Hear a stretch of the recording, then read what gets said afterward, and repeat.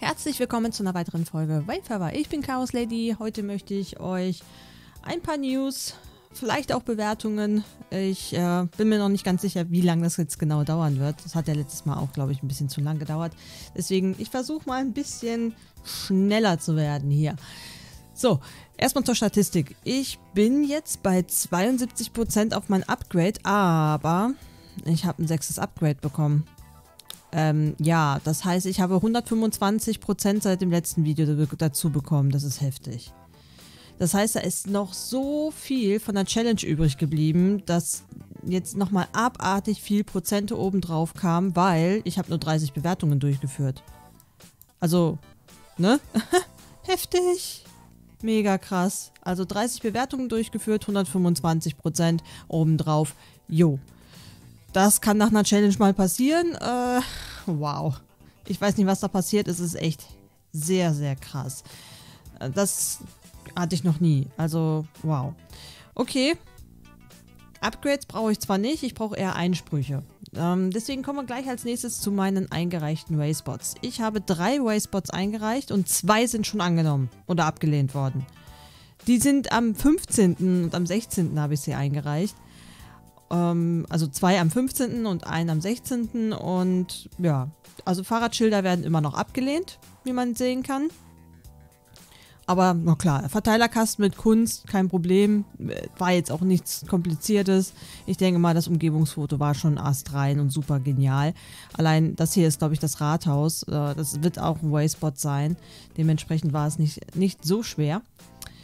Ähm, ja, aber die Fahrradschilder werden wieder abgelehnt. Sonstige Ablehnkriterien, ungenauer Standort steht hier.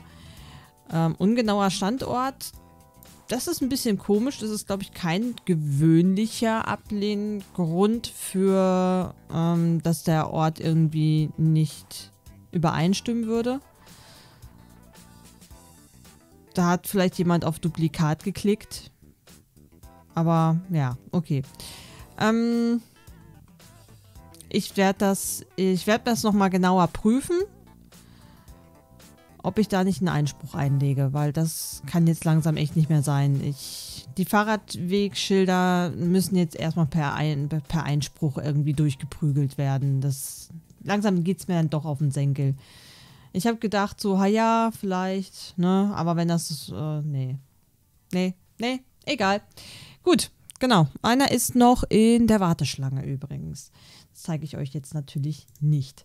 So, in den News haben wir zwei Dinge. Zwei Dinge. Ähm, es gibt einmal eine Nachricht ähm, zum, zum Roadmap und zu, zu den Dingen, die, äh, also man kann ja, man kann ja ähm, Missbrauch melden und da gibt es jetzt auch irgendwas Neues. Genau. Wir werden diesmal nicht direkt reingehen und den ewig langen Text durcharbeiten. Ich bediene mich ausnahmsweise heute mal einer anderen Quelle. Eine Telegram-Gruppe. Ähm, die Telegram-Gruppe hatte ich euch, glaube ich, schon mal genannt. Das ist die Wayfarer Dachinfo. Und die haben das eigentlich schon so schön zusammengefasst und haben gedacht, da bediene ich mich jetzt heute mal damit das halt ein bisschen schneller geht. So, Backlog, Reduktion und Bewertungsgeschwindigkeit. Ich habe am 15. was eingereicht, das ist heute schon, ist heute schon durch. Das finde ich sehr krass von der Geschwindigkeit. Ähm, durch die Bearbeitung des äh, toten Backlogs von 2021 durch Niantic selber wurden 600.000 Einreichungen angenommen, abgelehnt oder vielleicht sogar Bitte reichen Sie es nochmal ein, ja. Hatten wir schon mal. Ähm, ja, und dadurch wurde die Bewertungsgeschwindigkeit um 33% erhöht. Ich, ich frage mich gerade, wie das, wie das sein kann. Wieso ist dadurch die Bewertungsgeschwindigkeit erhöht worden? Warum, wär, warum kommen diese Wayspots von 2021 durch den normalen Bewertungsprozess nicht mehr durch? Das, das möchte ich gerne mal wissen. Das verstehe ich nicht so ganz. Aber gut. Nächster. Schlechte oder doppelte Einreichungen. Niantic hat ein System eingeführt, um automatisch schlechte und doppelte Einreichungen zu erkennen, bevor sie der Community zum Bewertung vorgelegt werden. es scheint schon recht gut zu funktionieren, aber es wird weiter an Verbesserungen gearbeitet. Ähm, äh, doofe Abkürzung, ANM sagt mir gerade nichts. Eventuell kommen da auch die vielen Warnmails der letzten Monate her, dass man schlechte, ach Anmerkung soll das heißen, okay, schlechte Einreichungen einsenden würde. Okay. Ja. Ähm, also ich habe keine Warnmails bekommen, aber ich, ich reiche auch viel zu wenig ein. Von daher passt es. Von euch habe ich aber in der Richtung auch noch nichts gehört. Also sowohl auf meinem Discord-Server nicht und auch nicht in den YouTube-Kommentaren. Dementsprechend ist das jetzt, vielleicht ist das auch gar kein Deutschland-Thema, äh, sondern eher in anderen Ländern. Aber finde ich gut, dass doppelte Einreichungen vielleicht dann doch durch einen Algorithmus, ähm, Automatismus vielleicht äh, geregelt wird.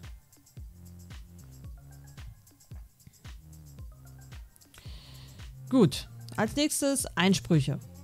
Sie kommen nicht mit der Bearbeitung hinterher, deswegen gilt seit einiger Zeit wieder das First-in, First-out-Prinzip soll besser werden. Bin gespannt. dass das dann trotzdem, trotz, überlegt mal Leute, die kommen nicht hinterher, obwohl man ja nur alle 30 Tage einen Einspruch einlegen kann. Ja, alle 30 Tage. Ich würde jetzt mal sagen, okay, Niantic, dann müsst ihr halt diesen, äh, diesen Timer vielleicht noch ein bisschen höher setzen. Wäre vielleicht ganz gut.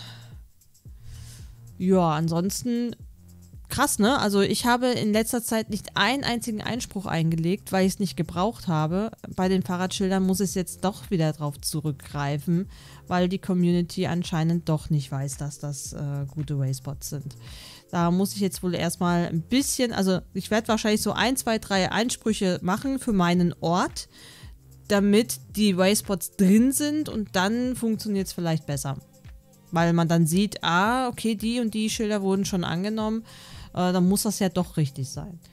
So, Challenges. Überwältigende, überwältige, überwältig, überwältigende 120.000 neue Wayspots wurden in zwei Challenges dieses Jahr schon kreiert. Ja, und gefühlt äh, kommen jetzt einfach zig Wayspots eh ins System, weil äh, das System sich geändert hat. Die Bots lehnen nicht mehr ab, sondern sie nehmen einfach alles an. ja. Okay. Naja, okay. Ähm, es soll zukünftig ein besseres System zum Tracken des eigenen Fortschritts in Challenges geben. Klar, habe ich schon gehört. Ähm, ich weiß auch nicht, ob ich das schon euch erzählt habe. Es ist tatsächlich so, dass zukünftig auch öfters ähm, ein eigener Fortschritt in Challenges geben soll und dass der halt auch angezeigt werden soll. Das äh, muss unbedingt rein, auf jeden Fall. Und äh, ich freue mich mega auf die nächsten Challenges und mal gucken, ob sich da. Ja, doch, äh, ein Wayfarer-T-Shirt habe ich ja noch. Da könnte man auf jeden Fall nochmal so ein schönes Gewinnspiel machen. Die Geschenke, äh, die, die, die, ähm, die Geschenkepakete sind alle rausgegangen. Julchen hat zurückgemeldet, dass sie es bekommen hat. Alle anderen haben sich bei mir äh, ja, nicht gemeldet. Ich hoffe, dass sie angekommen sind, weil äh, das wäre ziemlich traurig, wenn nicht. Gut, ähm, Kommunikation mit der Community ist mal wieder Top 1 Priorität für dieses Jahr. Hm, ja, ich sag mal, geht ja erstmal noch, ne? Also wenn man, wenn man keine Fortschritte macht, kann man auch nichts melden. Also dementsprechend ist okay, was sie jetzt momentan zurückgemeldet haben. Das Forum soll bald ein äh, großes Update äh, erfahren. Da bin ich ja mal gespannt, was das genau bedeuten wird.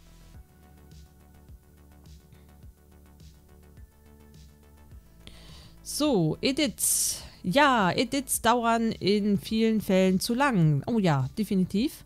Aktuell fokussieren wir fokussieren sie sich aber aufgrund der aktuellen Ressourcen vorerst auf Einreichungen. Ah, schade. Auch hier soll das System zu schlechten und doppelten Beiträgen bald vom Einsatz, äh, bald, zum Einsatz kommen. Ah, also dieses automatisierte System, das schon doppelte Einträge überprüft, soll dann auch hier bei den Edits zum Einsatz kommen. Okay. Anmerkung, es gab ja kürzlich 200 Entlassungen bei Niantic. Jo. Ähm, klar, könnte man jetzt auch äh, an, ansprechen, dass vielleicht bei Wel im Wayfarer-Team ja auch welche entlassen worden sind. Das wäre möglich.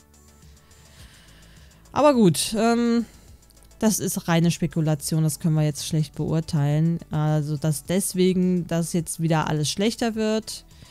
Es hat sich jetzt gerade erst wieder besser angefühlt, aber mit dieser Anmerkung ähm, habe ich, hab ich das Problem, dass es jetzt vielleicht doch nicht besser wird. Okay. Nun gut. Nächster. Beitragsverwaltung. In den nächsten Monaten wird es hier keine Veränderung geben, aber hoffentlich vor Ende des Jahres. Ja, wir warten immer noch darauf, dass unsere Änderungen, Edits, in der Beitragsverwaltung angezeigt werden. Weiß nicht, ich habe so das Gefühl, das war, glaube ich, angedacht für dieses Jahr, aber ich glaube, die Ziele von äh, Niantic Wayfarer müssen noch ein bisschen weiter runtergesenkt werden, damit sie auch ihre Ziele erreichen können. Bewertungssystem. In den nächsten Wochen wird Niantic das aktuelle 5-Sterne-Bewertungssystem vereinfachen. Vielleicht auf 3 Sterne. Obwohl ja eigentlich ja mal angedacht war, dass sie äh, Ja, Nein machen. Selbst das ist auch immer bisher noch nicht gekommen. Außerdem soll das Melden von Missbrauch einfacher werden. Release soll September 2023 kommen. Zu dem Missbrauch kommen wir ja dann gleich. Dann Anti-Cheat. Oh ja. Schummeln ist auch in Wayfarer großes Thema, deswegen habe ich auch gerade eben gemeint, die Bots nehmen momentan irgendwie alles an. Das ist zum Thema Schummeln angedacht. Oder, naja, angedacht. Äh, das, ist, das war so ein, so ein kleiner Teaser da drauf. In den nächsten Tagen werden neue Grundsatzrichtlinien und Konsequenzen für Missbrauch von Niantic veröffentlicht. Außerdem wird das System zum automatischen Erkennen von Missbrauch weiterentwickelt. Ja, bin gespannt. Da hat Niantic eine Menge vor. Äh, ne, ne, ja, ne, nicht nur eine Menge vor, sondern ähm, das, das wird noch ein riesengroßes Thema. Weil da passiert momentan wirklich sehr, sehr viel. Kriterien. Es wird keine großen inhaltlichen Veränderungen bei den Kriterien geben, da es schwierig ist, neue globale gültige Kriterien zu schaffen. Also liegt der Fokus stattdessen darauf, neue Wayfarer und neue Wayfinder besser zu schulen. Neue Wayfarer und Wayfinder besser zu schulen. Mmh. Ist jetzt halt die Frage, wie die das machen wollen. Also da muss, da muss, also was, was, was bräuchte man? Man bräuchte vielleicht ein, ein System, das einem rückmeldet, hey, äh, dieser Wayspot, den du bewertet hast, da haben, keine Ahnung, 60, äh, 70 Prozent der Community gesagt, das ist ein Wayspot und du hast gesagt, nö, ist kein Wayspot. Damit man vielleicht auch besser ähm, so viel zum Thema Anti-Cheat, ne? Dann könnte man ja besser, wie heißt es, äh, Missbrauch melden. Und man kann selber vielleicht auch besser werden. Also man könnte dann nochmal reviewen, hat man das richtig bewertet oder nicht.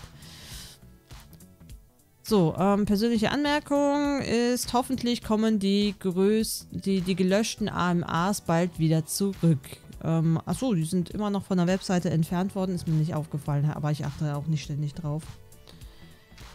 Die Wayfarer App wird nichts mehr dieses Jahr mit der Weiterentwicklung und Veröffentlichung, weil alle oben genannten Punkte erstmal wichtiger waren. Ja, so viel dazu, ne? Zu viele ähm, Ziele und hochgesteckte Ziele. Niantic muss da ein bisschen mal den Ball etwas flacher halten. Und außerdem werden manche Sachen einfach, äh, währenddessen sie versuchen, das Ziel zu erreichen, wird das, der Weg zum Ziel einfach größer. Ja, also ihr müsst es euch so vorstellen, ihr habt ein Ziel und ihr wisst, ihr müsst dafür zwei Kilometer laufen. Plötzlich ist die Strecke gesperrt und ihr müsst jetzt zehn Kilometer laufen. So ungefähr sieht es ähm, jetzt bei Niantic Wayfarer aus, was, was die eigentlichen Probleme sind. Missbrauch, neues Meldeformular, genau. Mithilfe der Botschafter wurde an dem Umgang mit Missbrauch in Wayfarer gearbeitet. Neu, man kann im Chatbot, im Hilfebereich von Wayfarer, nun mehrere Tickets zur gleichen Zeit einsenden. Yay! Also vorher man, konnte man immer nur ein Ticket einreichen, jetzt mehrere. Sehr schön. Außerdem neu, die Niantic ähm, Help Shift Artikelseite zum Thema Missbrauch wurde überarbeitet. Hier findet sich im unteren Bereich nun auch außerhalb von Wayfarer ein neues Formular, mit dem man Missbrauch melden kann. Okay. Müsste ich mir vielleicht mal anschauen. Ich sagt mir jetzt gerade nichts. Die Niantic Help Shift Seite, also äh, Support-Seite wahrscheinlich dass da, dass man da besser Missbrauch äh, melden kann. Aber ich außerhalb von Wayfarer, ja, ja, doch, das, das sagt mir was. Aber blöd, dass jetzt gerade der, der Link hier nicht dabei ist. So, dann aktuell werden diese Hilfen nur auf Englisch bereitgestellt. Es soll bald weitere Sprachen folgen. Da haben sie auch eine Menge vor, ne? Wenn man überlegt, wie viele Sprachen die da immer zur Verfügung stellen müssen. Das ist schon sehr heftig. Aber gut, ich denke, das ist doch mal eine interessante Info für euch, hoffentlich. Ich konnte damit schon mal einiges erreichen. Das waren jetzt leider schon 17 Minuten und trotzdem gehen wir mal in die Bewertung rein. Vielleicht vorher sogar noch in den Showcase, weil ähm, ich habe da was gesehen und gedacht, äh, ja. Ich habe keine Ahnung, was das sein soll. Sieht ein bisschen merkwürdig aus. Vom Foto her hätte ich gesagt, das ist kein Wayspot, aber vielleicht ist es doch ein Wayspot. Eine Infotafel, okay. Und alles aus Frankreich, ne? Und natürlich ein Basketballplatz mit einem Fußballtor. Könnte aber in der, in der Nähe einer Schule sein. Sieht aber hier auf dem, auf dem Satellitenbild aber in Ordnung aus. Gut, das könnte also sein, dass heute sehr viel französisches Zeug kommt. Schade. So, tja, was ist das? Dieses Graffiti ist so lala, hätte ich jetzt mal gesagt. Ja gut, es geht doch Richtung Kunst. Es sieht so aus, als wäre die Wand schon vorher schon ziemlich äh, ramponiert gewesen und darauf wurde dann halt drüber äh, Graffitit drüber gemalt. Ja, ich würde sagen, es ist ein Baseboard. Das Umgebungsfoto ist leider sehr, sehr schlecht. Da sieht man ja quasi gar nichts.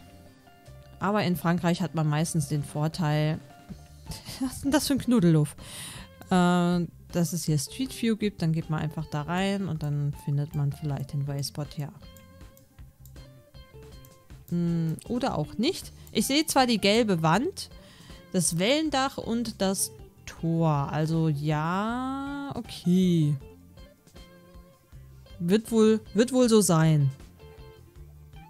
Standort ist damit ermittelt. Historisch-kulturell, ja. Optisch einzigartig, ja. Sicherer Zugang, ja. Und das ist ein Graffiti, vielleicht noch eine Zeichnung. Gemälde nicht, weil da ist kein Rahmen drum. Absetzen. Leider wieder Frankreich. Diesmal wieder ein Sportfeld easy. Kann, braucht man nicht. Das ist meistens so einfach zu bewerten, weil man das immer auf dem Satellitenbild super erkennen kann. Es ist kein Duplikat, also rein damit. Sport im Freien, Erholung im Freien, ja.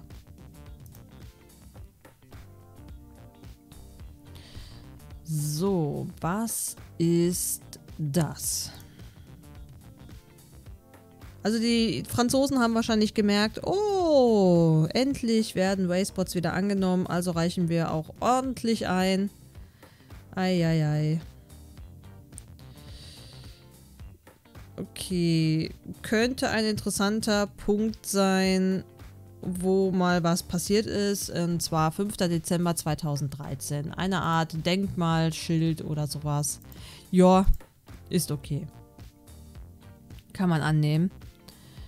Schauen wir mal, ob wir das Ding hier auch wiederfinden und vor allem, wie die Beschaffenheit von diesem Schild ist. So. Okay. Also das ist hier ein richtiger schöner Fußgängerweg. Da kommt man auf jeden Fall sehr gut hin. Ja, das kann man sagen, ist sicher erreichbar und es ist auch der richtige Standort. Ähm, ein Hinweisschild, hätte ich gesagt. So. Fühlt sich an, als wäre das schon ein bisschen älter, weil eigentlich die Kategorien sind ja mittlerweile nicht nur optional, sondern Pflicht. Mindestens eins oder so. Bücherschrank. Auf jeden Fall ein Wayspot. Umgebungsfoto sieht okay aus. Mal sehen, ob wir das von der Ferne wiederfinden. Ich glaube, das ist noch zu neu. Das sieht man auch am Holz. Das Holz ist so hell. Das ist nagelneu. Und hier auf dem Umgebungsfoto sehen wir diesen, dieses Hinweisschild und auch diese, diesen Zaun. Also dementsprechend sieht das sehr gut aus, dass das dahin gehört. Jawohl. Hier sind keine anderen Wayspots in der Nähe. Bibliothek. Also das sage ich jetzt auch nur wegen dem Duplikat. Öffentlicher Bücherschrank. Ortsschild, nein. Okay, das müsste jetzt Nummer 3 oder sowas gewesen sein. Wegweiser an Wanderweg. Mhm. Oh, Deutschland. Wow, Berlin. Äh, ja. Hm. Bahnhof, Zentrum, Freibad, Boll, Bollendorf. Nee, das ist kein Wanderwegsschild. Das ist zwar ein Wegweiser, aber der Wegweiser sagt nicht, hier ist eine bestimmte Tour, ein Rundweg oder sowas in der Richtung. Leider aus meiner Sicht kein Wayspot. Mal gucken, was hier noch steht. Wegweiser zum Zentrum Bahnhof Freibad liegt an einem Wanderweg am Straßenrand mit kleiner Sitzbank und Mülleimer. Tja, das ist leider nix. Wenn da ein, ein, ein Wanderweg mit einem eigenen Namen drauf gewesen wäre, hätte ich es auf jeden Fall angenommen. Aber das war es hier leider nicht.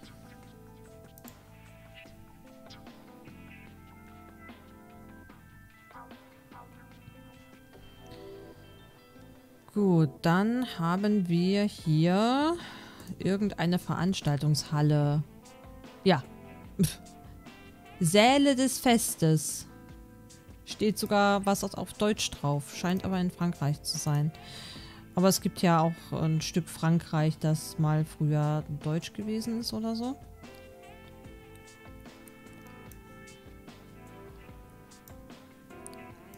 So, mal gucken, ob wir die Halle hier... Ja, das ist die. Das ist äh, eindeutig erkennbar, dass das die Halle ist, auch wenn wir sie jetzt halt nicht von vorne sehen können.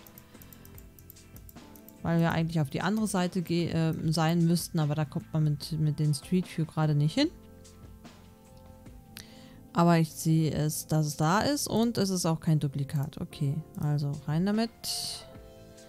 Veranstaltungshalle, genau. Absenden. Ich mache jetzt nochmal kleiner Check. Sechs, oder? Ja, sechs. Also noch vier. Oh Gott. Uh, das scheint ein altes Gebäude zu sein, das überspringen wir.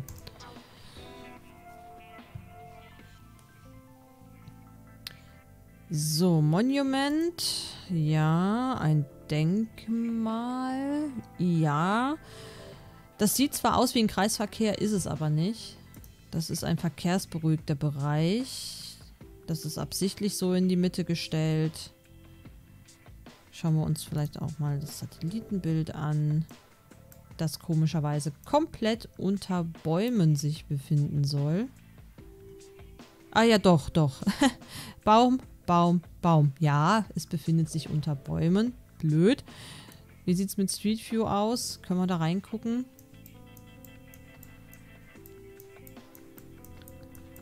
Äh, da müssen wir mal hier hin. Äh, wenn, dann müsste man hier reingucken. Da hinten sehe ich einen Friedhof. Also könnte das am Friedhofseingang hier im, im, im Vorhof sein wahrscheinlich. So ungefähr. Okay, dann kriegt es halt drei Sterne am Standort. Es ist kein Duplikat, es ist noch nicht vorhanden. Aber historisch, kulturell und optisch einzigartig ist es. Denkmal, Plakette, Friedhof. Nein. Es geht ja hier nicht um den Friedhof, sondern es geht hier nur, einschließ, äh, nur um das ähm, Denkmal. Und nur weil sich das auf dem Friedhof befindet, ist das meiner Meinung nach nicht die Kategorie Friedhof.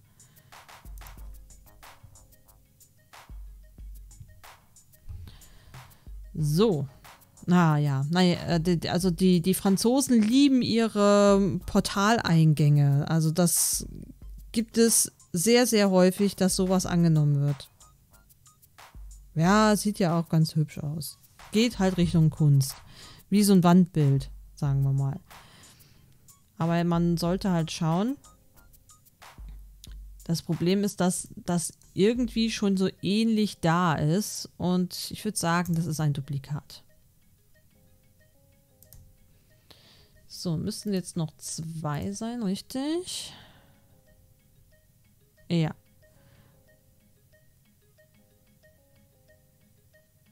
Ah, ja, schon ein Prozent mehr. Ich habe gerade gedacht, es wären 74 Prozent vorher gewesen. Und jetzt, hä, 73 Prozent minus 1? Hatte ich jetzt auch noch nicht. Aber nee, war auch gar nicht so. Ich habe das falsch im Kopf. Okay.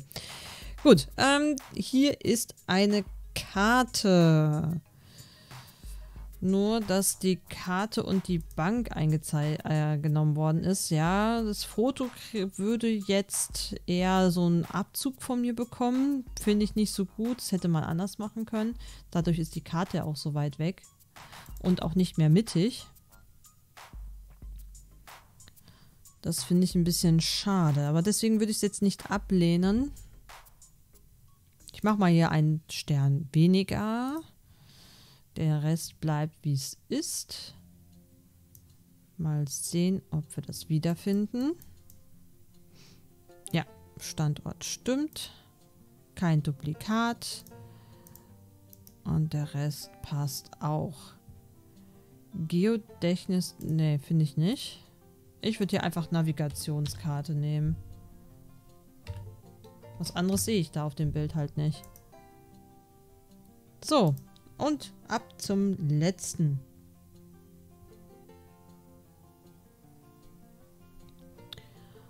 Und zwar wieder ein Schild.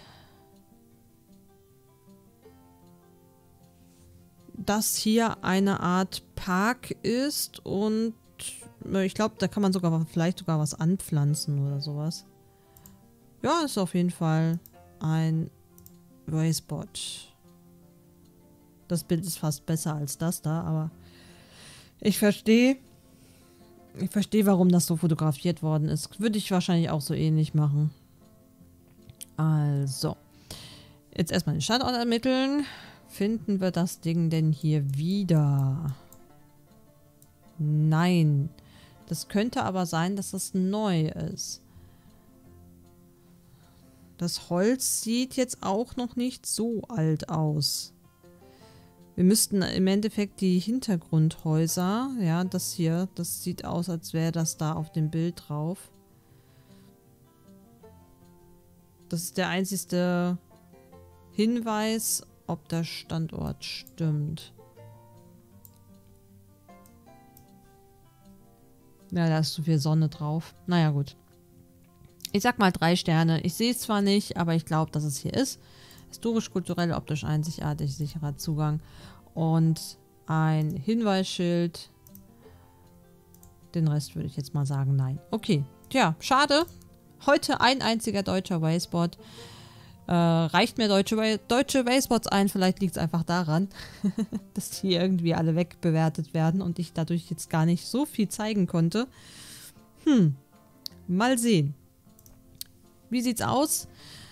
Genau, 1% mehr gab es auf jeden Fall, 10 Bewertungen und ich hoffe, ich konnte euch ein bisschen weiterhelfen. Ansonsten schaut gerne in der Videobeschreibung vorbei und in den Kommentaren und beteiligt euch gerne. Könnt aber auch auf dem Discord-Server bei mir in, die in den Wayfarer-Kanal kommen. Da helfen sich die Leute auch gegenseitig und ähm, die Fragen werden immer recht schnell beantwortet. Ich bedanke mich recht herzlich fürs Zusehen. Ich hoffe, ihr seid beim nächsten Mal wieder mit dabei. Falls ihr nichts verpassen wollt, abonniert meinen Kanal. In der Videobeschreibung findet ihr noch weitere Informationen oder andere Kanäle von mir und bis zum nächsten Mal. Batsch!